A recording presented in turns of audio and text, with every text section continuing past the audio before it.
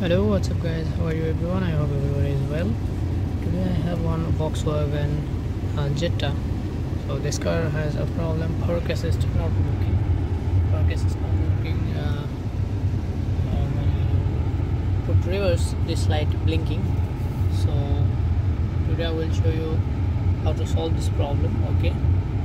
So you need to replace but when i check with my computer i didn't I didn't get communication in park assist module so I remove now this uh, panel see this one and meter cause meter remove cluster then backside this park assist module. So I buy one new module in company. So now I replace okay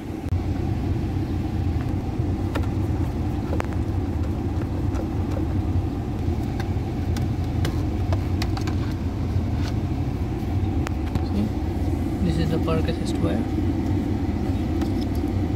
old one I removed that's why wire is there.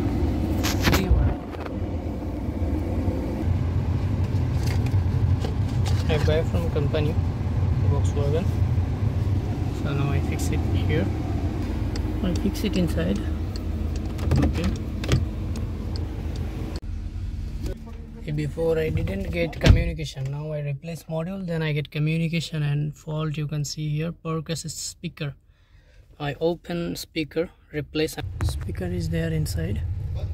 So I replace another one now. I fix it new one. We replace.